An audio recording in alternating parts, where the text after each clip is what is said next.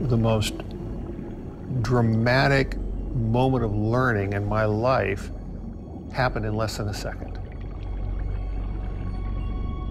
I stuck my head in the water at Shemya and I thought, oh my God, this is unbelievable. I had never seen an urchin barrens before going to Shemya. From having watched otters for extensive periods of time, I knew they ate a lot of urchins.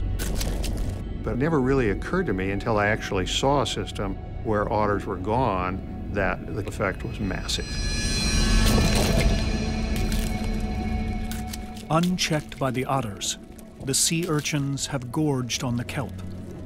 That has started a devastating domino effect right through the community. The kelp forest and virtually everything that lived here is gone.